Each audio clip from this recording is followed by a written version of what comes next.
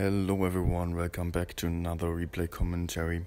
On this video I've got Mark 2909 in his FV4202 for you. One of those tanks that are not the best for the average player, yet it is uh, one tank that is also very challenging but also very rewarding.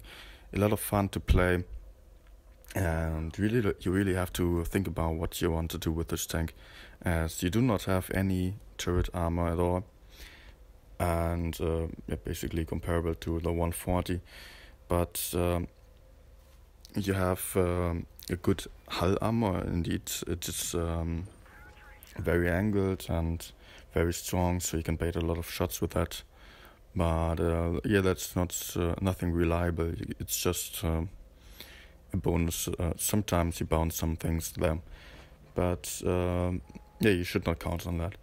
So but what makes this tank great is the premium HESH.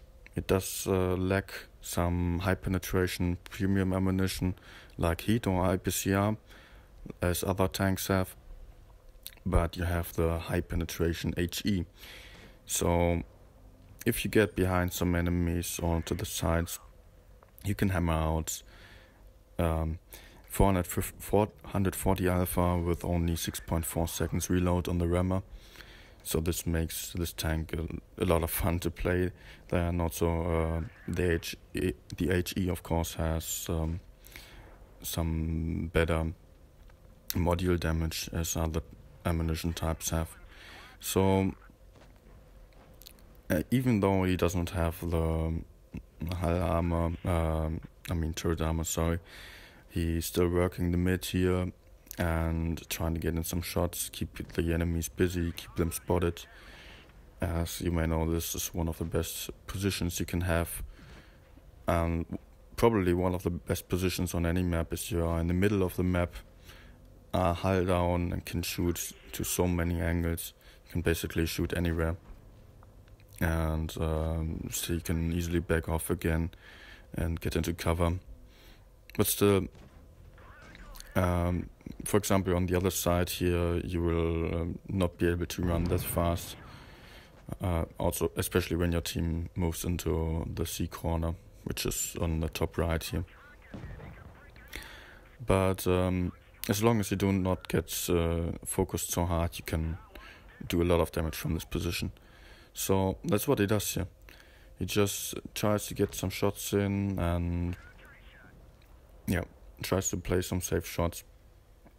now the Sheridan is weird is doing a weird YOLO move, and he's getting pushed by the E3 also. I really like what he does here.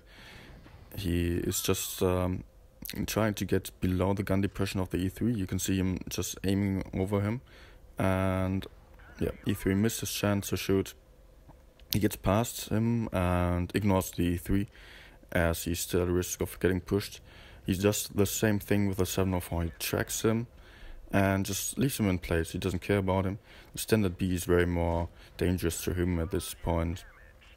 So he just um, tries to get the standard B, and uh, yeah, with the HESH he can penetrate and he can kill him, but some other one helps him out here. Wasn't necessary, but still.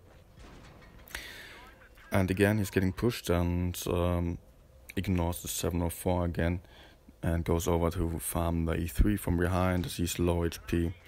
Also IS-4 still aiming at him. So that's already something that you can take away from this replay. If someone's focusing you hard, just ignore him and uh, try to shoot some other people. As um, yeah, one versus one just takes a lot of time and uh, is often very very risky for you. And even if you are the better player, it's just uh, RNG dependent. So 1v1 is not perfect for anyone. So you just um, ignore those that try to get you and shoot the others. So you keep one gun busy, keep one gun out of the fight, and help your team a lot more. Killing the others, and then you are again with the team against the one that you are fighting or that's fighting you. So in only five minutes or so, he already does 8,400 damage almost. As you may know, this tank uh, is really great for doing a lot of damage in very short amount of time. And this video is great at showing that. So I hope you enjoyed this video, only a short one, more videos coming soon. Thanks Mark for sending that in. Thank you all for watching, hope you enjoyed. See you.